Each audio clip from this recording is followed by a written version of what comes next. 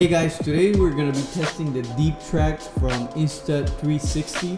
So there's two ways of doing it. One is where your camera is stationary and the objects around it are moving.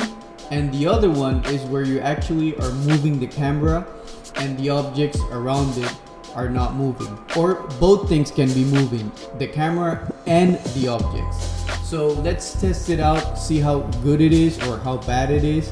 So here I have the the camera on a tripod. Uh, here it is, the tripod. And this is me. So let's say I want to track myself, right? On this on this plane.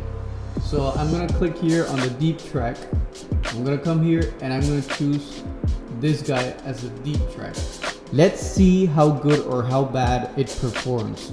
So I'm gonna go and click start tracking. So, so far so good. It's still tracking. All good. I'm asking for a pass. And I scored a goal and it's still keeping the track.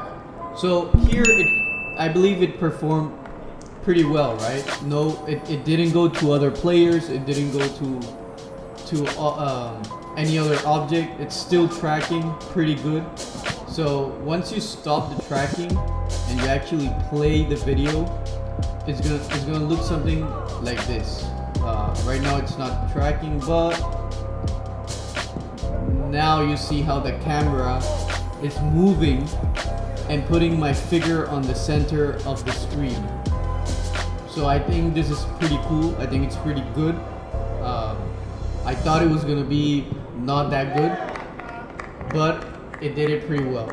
So even if I like, if I if I was like walking uh, here or outside the field, it would still track me. Um, I've tested it; it works pretty well, except when it goes into dark areas. So, for example, if I go into here, which is very dark, it might lose the tracking. Also, I've noticed that if you try to do it with things that are too difficult to track or that move too fast, for example, the ball, it's not gonna do it. So say, for example, let me just quickly go here. Here you can see the ball is quite clear, I, I, I would say. So let's see how well it tracks. Just the ball. Okay, so there you go. It only tracked that that much. Then it lost it. Now it's tracking the the person's shoe, and that is completely wrong. Um, and that the reason is because the ball just moves too fast. And so I'm thinking that if you're trying to film like a bird flying or an eagle, and the eagle is moving too fast, the camera is not really gonna gonna get it. But there are other techniques you can do that are not the deep track. You can manually track the ball uh, if you wanted to that would be a separate tutorial but it, it is it is possible. So also I've seen that for example if I try to deep track um, say for example this player.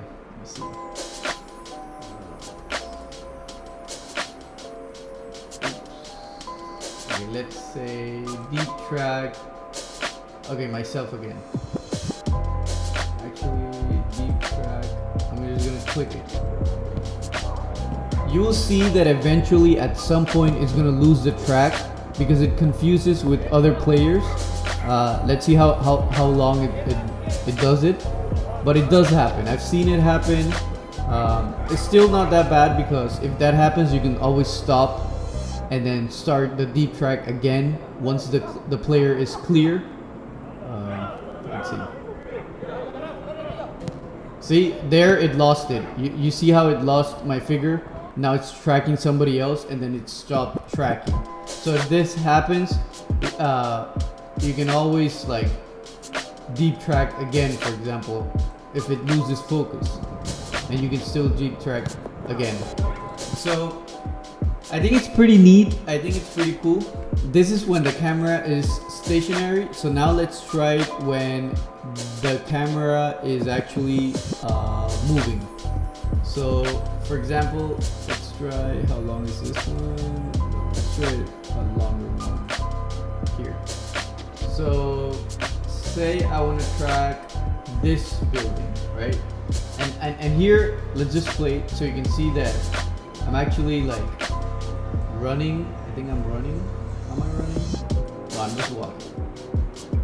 Okay, I'm just walking, and I want to be able to track something. Pause it here, and say I want to track this tree. See how well it does it, or how far it goes on to track. So see, it, it confuses it with the the, the with the light post, right? So let's try something else. Um, okay, yeah. Let's try something like. Um, actually, let let's track this guy. I think this is a great example. Where is this guy? Right here. Let's try and track him. He's moving. We're moving. Everybody's moving. There you go. Now it loses track. So it does it for short pe- periods of time. So it's not that good. Uh, let's let's go for something else. Let's go for uh, let's go for this.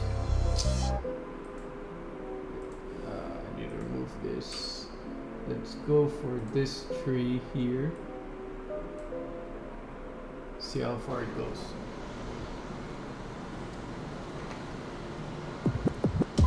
Okay, that's pretty nice. Keeping the focus. Eventually it's gonna get off because I'm moving farther away from the object. So eventually it's gonna lose the track. But I think this is pretty neat. I mean, you can do all these steps manually, but it comes in very handy to be able to do it with the stop with the deep tracking. So there it is, and then it loses focus. So let's try it like on. Um, uh, how about driving? Driving around the city. Uh, say we want to track maybe this car.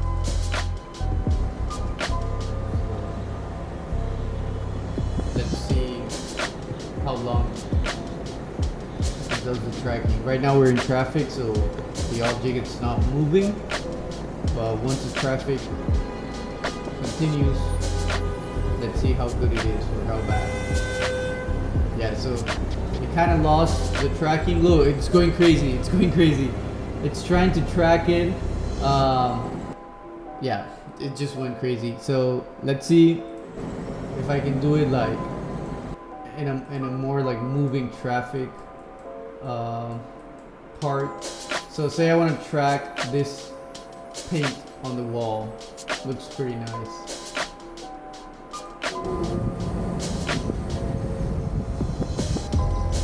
Yeah, I think it did pretty good job. Okay. It's still tracking, I'm not sure why. I think it's thinking it needs to track the building. That's not so bad. See how, how far it, it goes.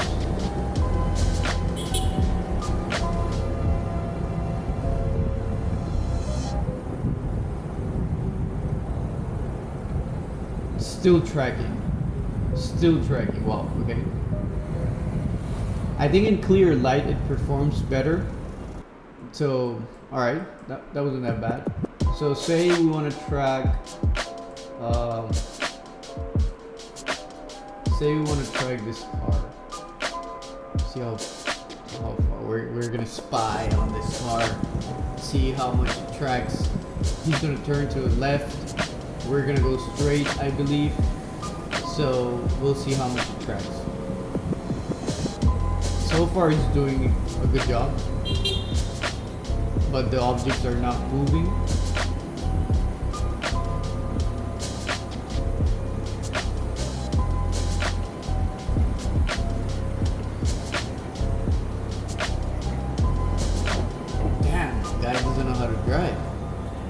Finally. Okay, so it's tracking, it keeps tracking forward. I think we're going to go the same way. Yeah, we're going, we're just following him. It's tracking, it's still tracking. You can see the quality of the image is not that good. It's because we're on the editor. Once you export it, is, a- actually much better. But as you can see, it's still tracking. I don't know what, how can it still track, but it's doing a good job. Hopefully we'll get close enough. Uh, it's gonna lose track. It's probably gonna lose track. Still tracking somehow.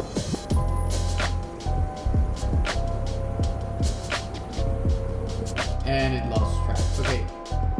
So as you can see, we did different tests of deep tracking with the AI integrated in the Insta360 app. And I think it's really, really good. It comes very handy, especially for things like for things like soccer.